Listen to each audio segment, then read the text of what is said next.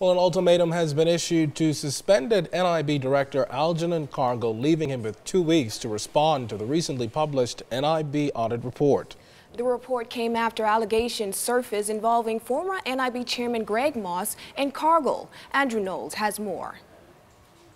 Suspended NIB Director Algernon Cargill has until the end of the month to respond to the NIB audit report. This after Cargill reportedly refused to meet with the board on several occasions to discuss the findings of that report.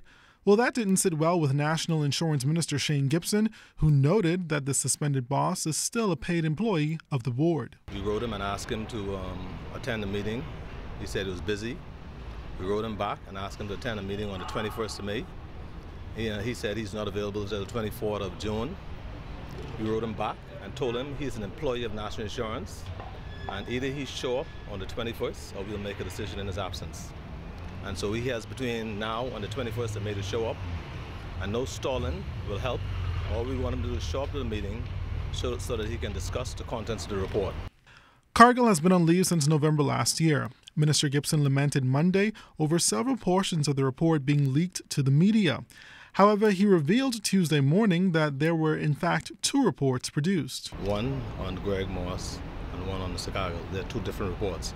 So if you see a report and you see anything in reference to Mr. Cargill, you wouldn't see anything in reference to Mr. Moss. They're two separate and distinct reports. Minister Gibson did not want to discuss the details of either reports until they're tabled in the House of Assembly. However, he did say that he wasn't surprised with the report on Moss. I was always um, in contact with National Insurance from the time I was appointed minister last year, May.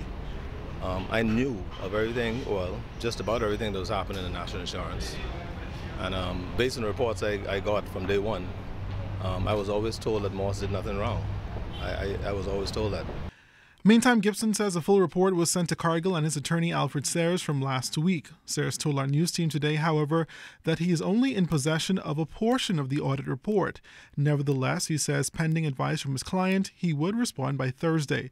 Gibson believes, though, that Cargill has had enough time to respond. Mr. Cargill responded to every single one of those allegations in the affidavit he filed last year. This is nothing new to him.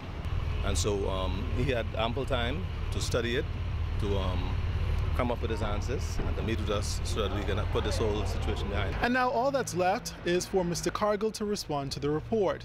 And once that happens, the board will then make its decision and send it on to the minister as to the way forward for NIB. As for the cost of the report, Minister Gibson did not want to reveal that figure until he had the exact cost. Andrew Knowles, ZNS Network News.